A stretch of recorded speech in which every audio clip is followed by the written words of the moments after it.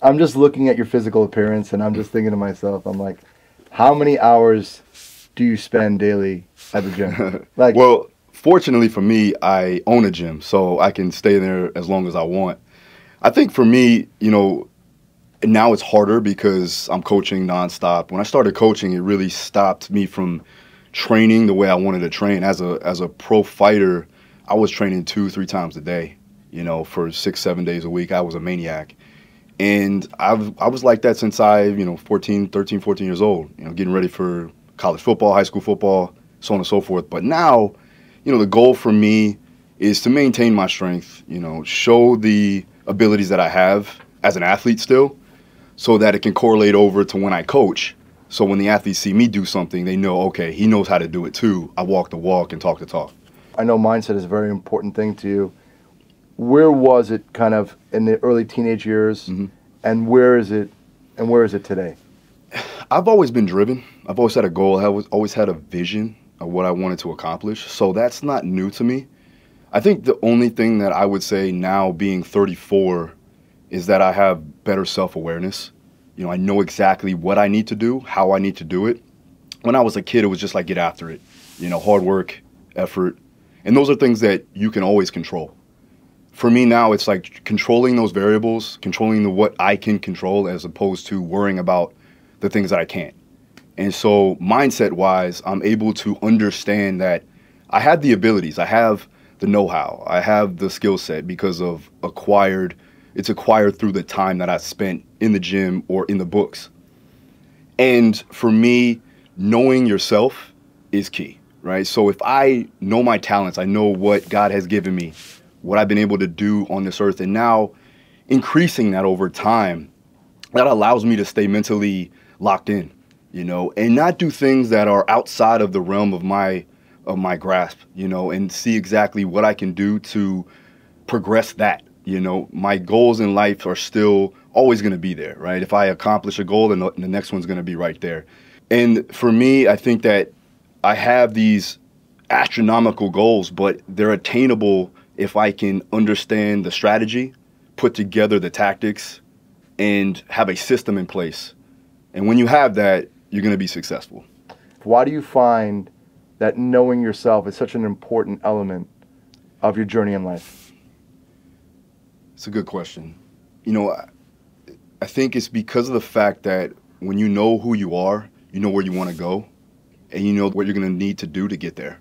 You know, so for me, like I said, that was the major turning point in my life when I found out exactly what I needed to do because of who I was, right? And peeling back the layers of talent, right? So there's things that, okay, yeah, I'm athletic, you know, I have the ability to communicate, but why? You know, and you just keep asking yourself why.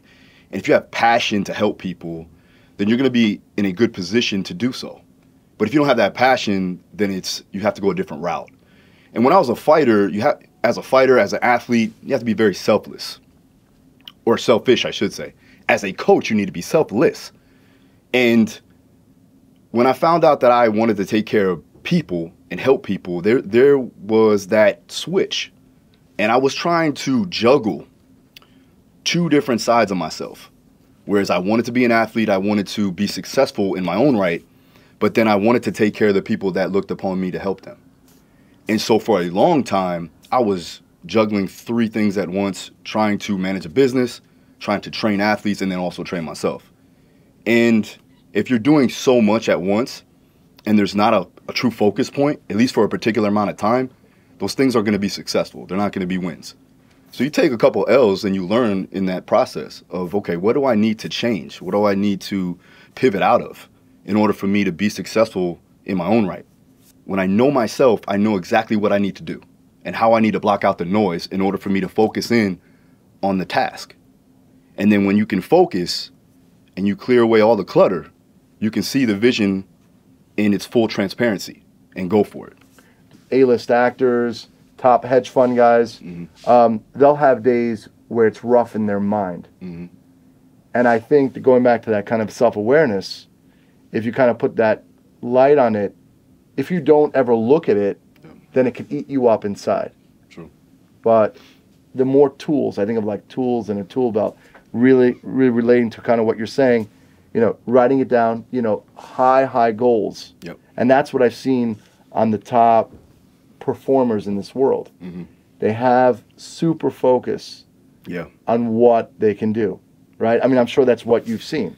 It's the X factor, man. It's like tuning out all the clutter and the noise. You know, um, I've worked with, you know, the best athletes in the world, the best fighters in the world, world champions, and the greatest thing that they're able to do, and I and I separate them from good to great because good fighters are good. They have the talent, they have the athletic ability, they may have the skill set, uh, but they don't have the mental capacity to withstand the noise. And the ones that can, they block that out even on the biggest stages. They're able to do so and perform at a high level. Mm. So you have to look at yourself as a high performer, no matter what you're doing. But it takes somebody to understand, like, this is my job. This is what I've been put here to do. This is what I get paid to do. I need to take advantage of the situation and block out all the other things that aren't going to get me to my end goal, right? And then you got to figure out what's your why. You know, why are you doing this? And it could be for a greater cause. You may be washing, uh, washing cars or bussing tables, but it's for an end goal. It's not just to do that as an end mean, right? It's to give you the money or to give you the capital to go ahead and do other things that you want to achieve. So figuring out your why is so important, whether that be intrinsic or whether that be for other things. Certain athletes, what is happening? Is there just a moment in time as a coach that you've seen and you've separated them that it just kind of clicks that you know that their DNA has shifted? Mhm. What exactly is happening in those moments? I believe that they are finding out their true purpose. Mm. I think they figured out a way to calculate the next steps by understanding why they've been put here.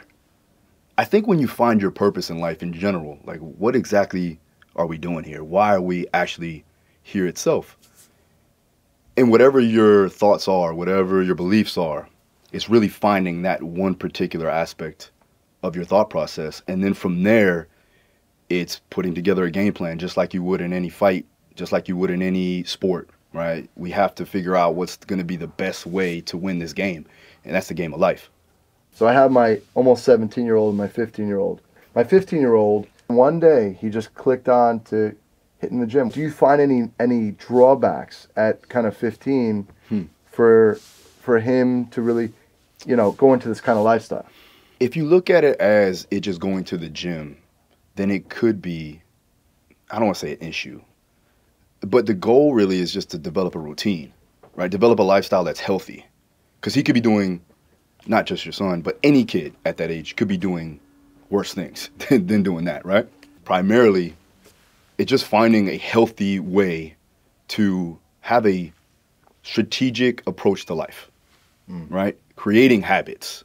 Yeah. And with those habits, they will transfer over. They will have high correlation over to life, whether that be in business, whether that be in his home life as a as a man, as a as a husband, you know, as a father.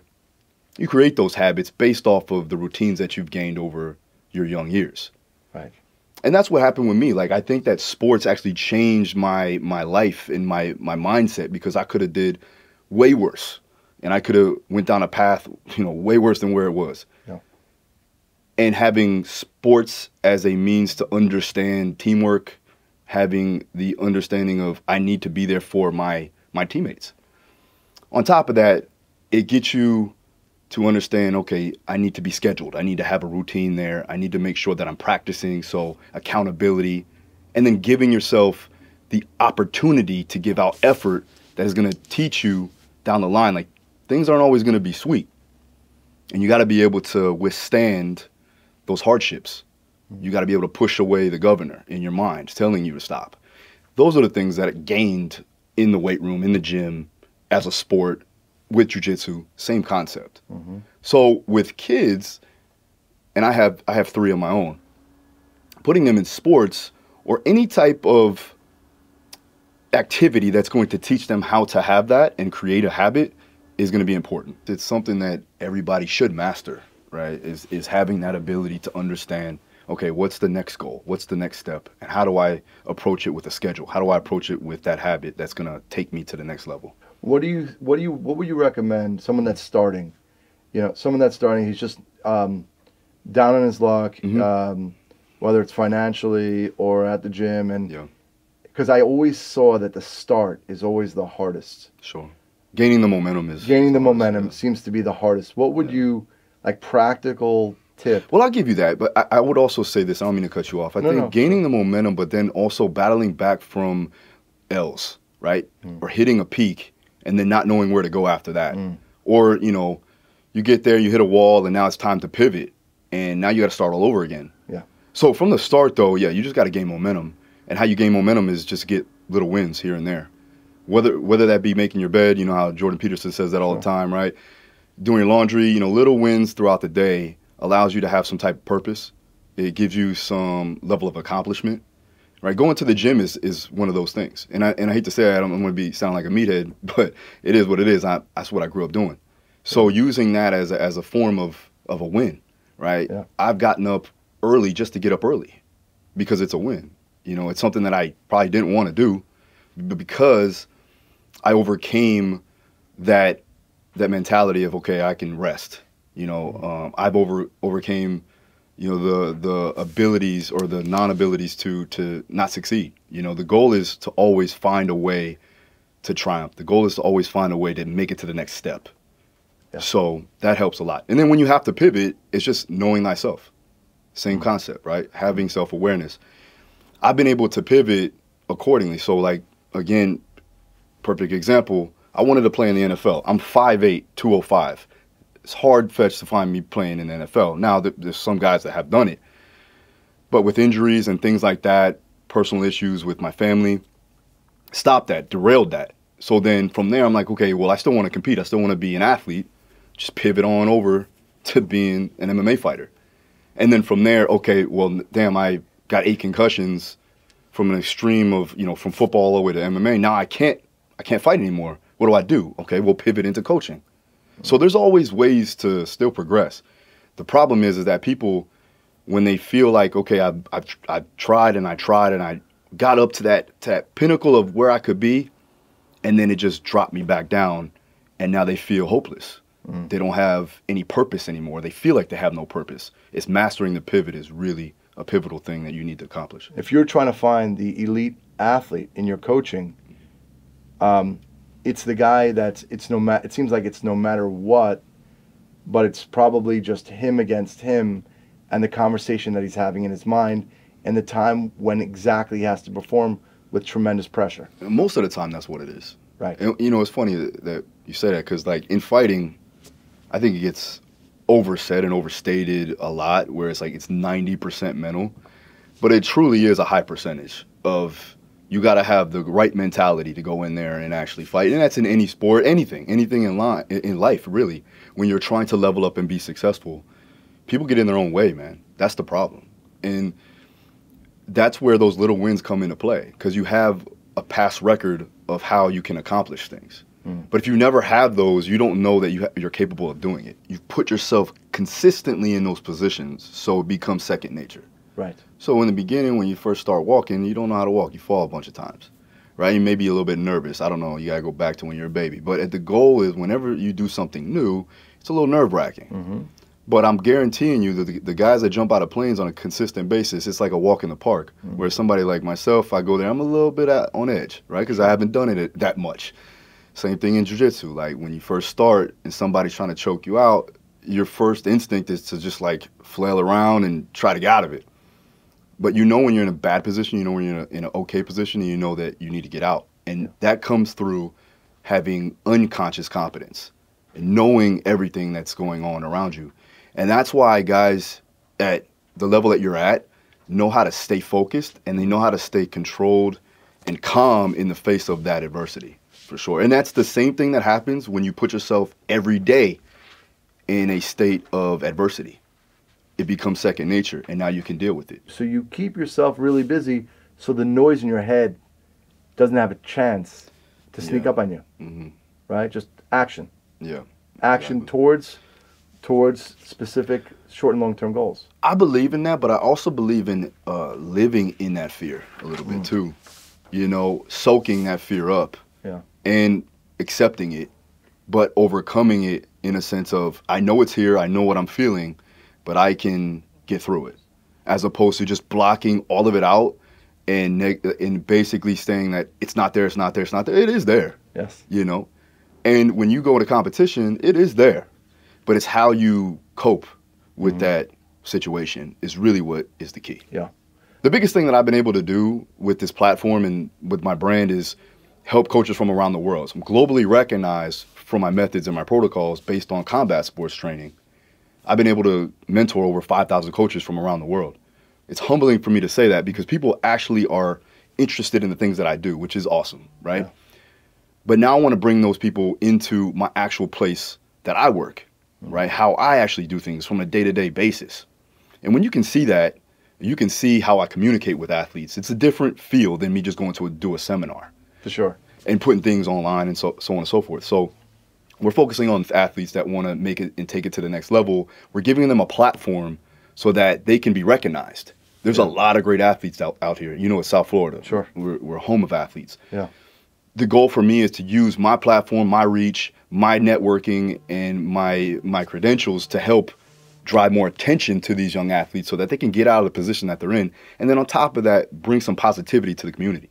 Is there something in the near future that you're uh, really excited about? There's a lot, but the the thing that I'm really excited about is the program and actual process that we've been building for the past two years, actually, with Timbaland, the record producer. And the reason why is because when I met him, Tim, and he's been working with uh, individual out here, uh, David Alexander, for a long time. Dave took him to where he needed to go and and gave him the opportunity to, like I said, I guess adopt this new mindset, and um, and I just helped correlate that. And then for me, my goal was to get him moving better, feeling better, and again, increasing his level of confidence. And it was funny because I walked in here and I was a little late. Sorry about that, guys. But he was on the call and he was just excited about the situation. So we're doing something called pushing peaks. And basically what that means is that we're trying to level up. We're trying to level up our fitness, trying to level up our health, our mentality, our mindset, creating a positive mindset to um, take it to the next level when it comes down to whether it's business, whether it's your sport, whatever the case. For me, looking at it um, from the outside in, like as he started with me, there was a there was a level of insecurity that he had, but now he's he's killing it, you know. And on top of that, he's a hard worker. He's one of the hardest workers that I've ever coached, and we're talking about guys that I've trained that are at the elite level, world champions, and he's right there with them when it comes down to effort, because you can't get to that level of success without that. So you could see it. It was awesome.